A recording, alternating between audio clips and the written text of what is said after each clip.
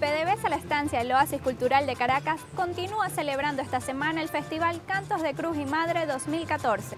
Mezcla perfecta entre lo religioso y el candor materno. Esto y más en Minuto a Minuto de PDVSA La Estancia.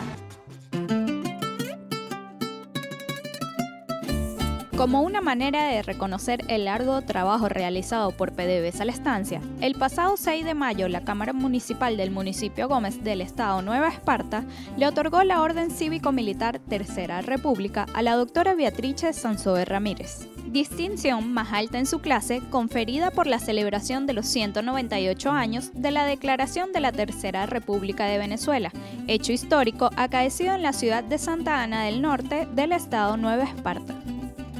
Esto es la utopía de construir el país independiente de Bolívar y la posibilidad de expresar en hechos concretos y hermosos el tarareo final de nuestro comandante supremo, a cuya memoria dedicamos estas palabras porque ahora sí tenemos patria, patria, patria, patria querida.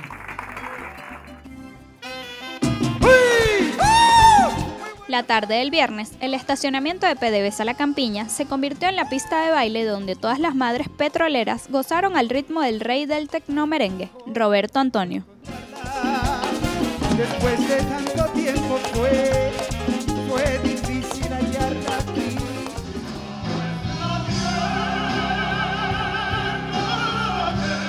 El sábado, en horas de la tarde, el consecuente público estanciero se deleitó con la sonoridad del grupo Ancora. Las madres venezolanas este, y el público en general debe- deberían de venir siempre a todos los espectáculos que presenta PDVSA La Estancia, sea aquí, sea en la Plaza Venezuela, sea en, eh, eh, Sabana Grande y en cualquiera de los centros en, en Maracaibo, Paraguaná, donde también Ancora participó hace dos años, porque realmente esto es una labor encomiable, una labor social y cultural que debe seguirse paso a paso. Confirmado y declarado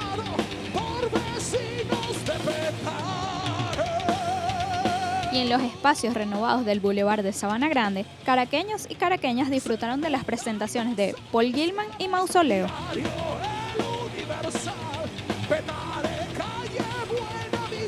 Caracas Distrito Federal.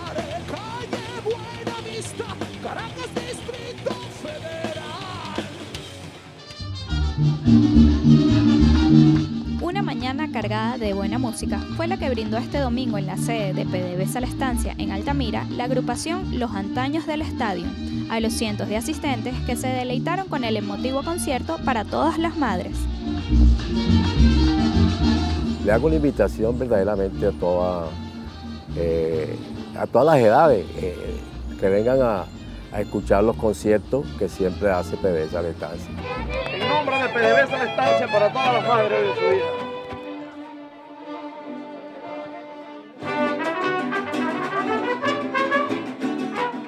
El fin de semana, los jardines de PDVSA La Estancia fueron testigos de los versos y serenatas de los mariachis, un repertorio cargado de sentimientos para todas esas mujeres luchadoras en su día.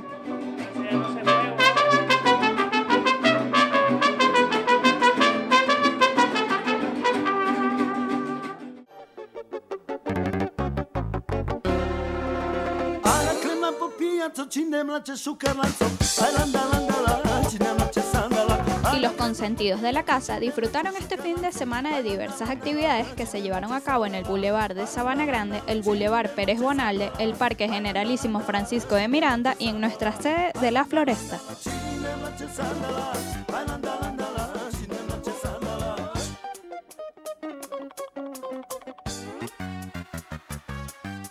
A continuación, nuestra cartelera de actividades.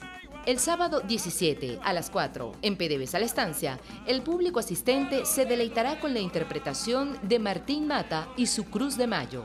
Y a las 5 de la tarde, en Plaza Venezuela, disfrutarán del concierto del grupo El Timbique. El domingo 18 a las 11 de la mañana, en PDVSA La Estancia, Alexander Livinalli y su Zaperoco pondrá a bailar al público estanciero. Y para los más pequeños de la casa, traemos el sábado 17 a las 3 de la tarde en Sabana Grande, Marcano Teatro y su obra Vive el Duque, nuestro dueño. Y a las 4 de la tarde, en el Parque El Porvenir, la Fundación Grupo de Teatro Comediantes de Mérida presenta El Último Desafío. El domingo 18, a las 2 de la tarde, en PDVSA La Estancia, niños y niños reirán con Maguri Teatro Producciones. Y a las 3 de la tarde, en el Boulevard de Sabana Grande, vuelve la Fundación Grupo de Teatro Comediantes de Mérida con El Último Desafío. Esta fue otra edición de Minuto a Minuto de PDVSA La Estancia. Recuerden que pueden conocer más sobre nuestras actividades y eventos a través de nuestra línea telefónica 0800 Siembra o visitando nuestro portal en internet www.pdvsalestancia.com. También estamos en las redes sociales, Twitter, Facebook, Instagram y nuestro canal de YouTube. Será hasta la próxima semana.